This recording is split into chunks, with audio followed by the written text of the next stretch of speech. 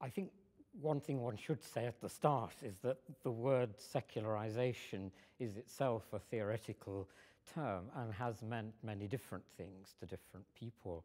I think for most people it, it means one of two things. One is the way in which religious institutions lose their authority and even some of their functions in society, which are taken over by civic powers. Um, that would be one sense of secularization. A, a, a second would be that um, belief in the teachings of a particular church, for example, which might have power in society, um, those beliefs become less credible over time.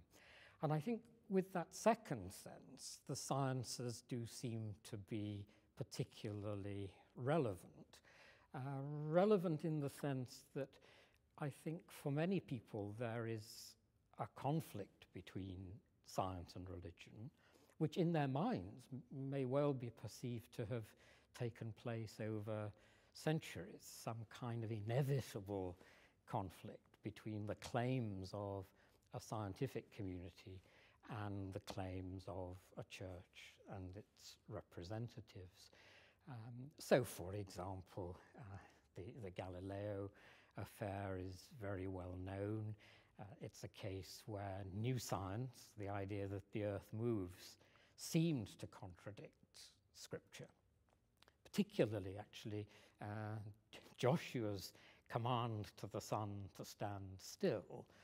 And if you take that text literally, it implies the sun must be moving um, already, not the earth. And so it looks superficially, at least, as if there is a conflict between the astronomy and the authority of Scripture. That would be one example.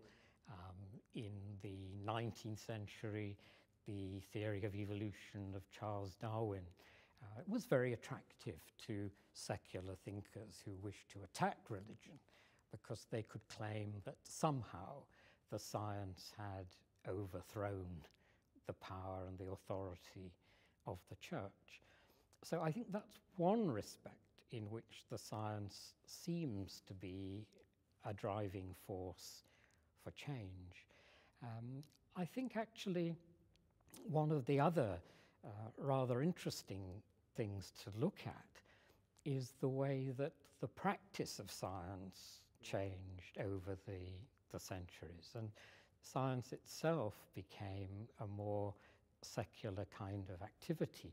By that, I mean that the idea was in looking for a scientific explanation, you would look for a natural explanation. You didn't need to invoke some kind of supernatural power to explain whatever the phenomenon was. And I think it seems very plausible to argue that as science advanced, as we became more familiar with the laws of nature, as, as they were often called, um, somehow the importance attached to the supernatural gradually erodes, gradually disappears.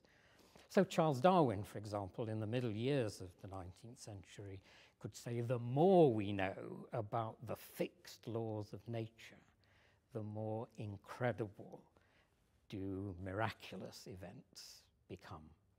So that would be a very clear example, I think, where the more we know in science, um, the weaker some of the authority claims of the churches would appear to be. Mm. So I hope that gives some indication of, of why it is popularly believed that as science advances, so religion retreats. It is a very uh, popular and, and it's a very understandable view, I think. One of the problems with it is um, that you can have perfectly natural explanations for events in nature, um, but without actually challenging the idea that behind those natural events there is still some uh, transcendent power at work, uh, originally perhaps as a creator or subsequently as a sustainer of those processes. And then, if you recognize that, the story becomes more complicated.